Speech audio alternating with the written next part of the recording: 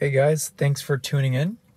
In this video, I'll be going over how to successfully pair and use uh, an Apple iPhone with the Apple CarPlay system in the 2020 Land Rover Defender. Uh, this is a Defender 110 first edition, but CarPlay as well as Android Auto comes standard in every single Defender.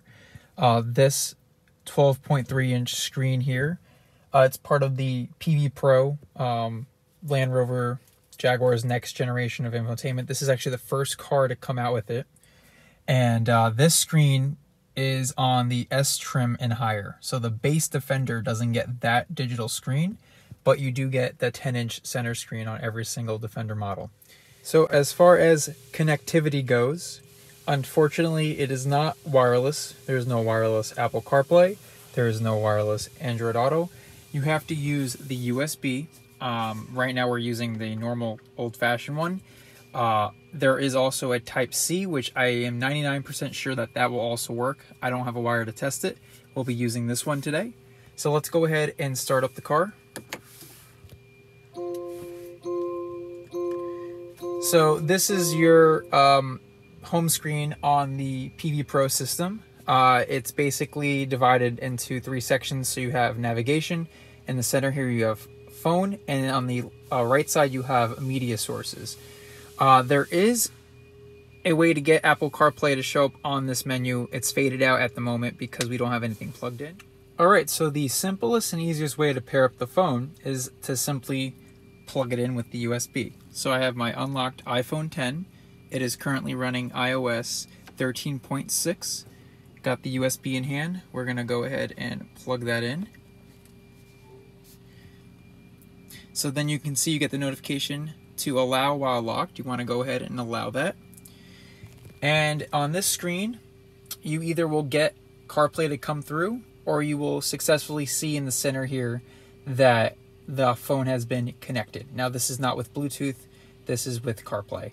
Uh, to access CarPlay, you can actually simply click on this icon here where it shows Lenny's phone, or you can see it pops up right here in the uh, left kind of menu section. I also want to quickly go into the settings icon, and you can see Apple iPhone settings are inside the all category, and you can either turn on or off CarPlay. So if you want the phone plugged in to charge, there is also a wireless charger right down here. But if you wanted to have it plugged in and charged, and not use CarPlay, uh, it would come up in this section here, as you can see right there. Now we're going to go back. So to get into CarPlay, simply click that icon. And now we just switched over to the iOS system, Apple Car CarPlay system. Now to get back to Land Rover, it's nice uh, you have access on both sides of the screen to still access the Land Rover um, system. So you have a home button you have a CarPlay button, you have a phone button, and you have a navigation button. On this side, you have your parking system as well as settings. So for instance, I can go here, switches over to the map, go here, switches over to phone. Right now, that's also CarPlay, so these two do the exact same thing. Or we can go home where we can have a split view. Now, whatever is playing through CarPlay comes up on this right section, and there is a really nice uh, album cover graphic behind the text. It looks very premium. That's awesome. I love how they did that. Uh, you can pause it from here. You can play it from here. You can mute it from here. Uh, and you can also change the source from here. So this little CarPlay system or uh, icon here, you click it, and then you can actually go ahead and switch out of CarPlay's media and any other source here, which I find awesome. Uh, now, going over the screen itself, very nice 10 inch high resolution screen. Everything is crystal clear. It is a glossy finish, so just be aware um, there might be some reflection issues, glare issues.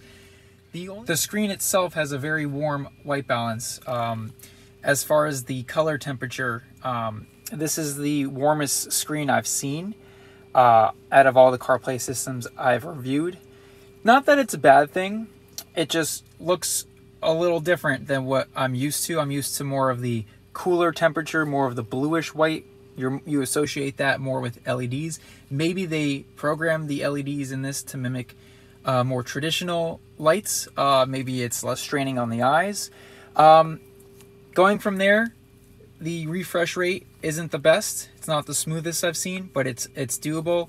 Um, there is a slight delay, so if you're quick with this, uh, you might end up messing up. All right, so moving on from, you know, screen resolution and uh, color temperatures, let's load up an app like Google Maps here. And uh, now, while the whole real estate of the screen is not used up by CarPlay, um, I'm okay with that because they allow you to have these shortcuts right here on the screen so you don't have to actually exit uh, CarPlay to access other modes of the car um, infotainment, which is awesome. So I'm okay with them not using the whole screen. Now, that being said, the screen is so wide that even though it doesn't use up the whole screen, it still looks premium. And I like, I am totally okay with that amount of real estate of the screen being taken up. Um, looks great to me. I like how they implemented it. Uh, again, like all of the recently done uh, CarPlay systems, it's all curved at the edges, which gives it a little bit more of a premium look.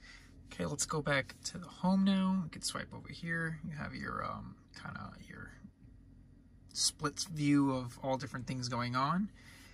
Um, and we can load into Spotify, uh, which gives you nice big icons here. Um, very easy to press and use while driving. Uh, now going from here, let's go to the uh, digital driver's display. And I have it set up to show media in this center display here. Um, you use the right side of the wheel to control everything on that screen. Right here is a volume rocker. But uh, I like that they uh, have added the ability to overlay the album cover um, slightly kind of faded.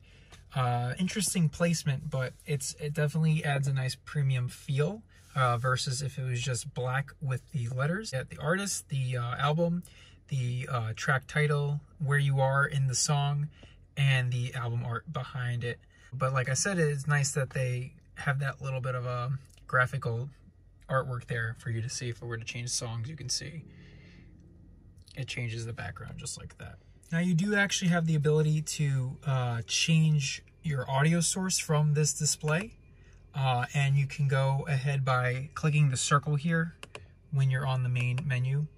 Just like this, you go ahead and click that circle. Then you go over to the little music icon and you scroll down, click audio source. And from here you can choose radio um, or whatever media devices are connected. And right now, uh, my phone via um, CarPlay is the only option and you have it right there. So that's nice that they threw that in there. Again, I really wish they implemented more features with the driver's display. A lot of brands seem to be limited in what they're allowing right now. Uh, hopefully in the future, uh, I will be testing iOS 14 um, soon as well, but hopefully in the future, automakers allow more uh, usability with CarPlay on these displays because it just makes sense to have it right in front of your face uh, versus having to do everything there. And then the last pointer I want to make out with kind of the whole steering wheel cockpit uh, system is, of course, you do have the voice button here. So if you do long press this, it will pull up Siri. Never mind. Okay.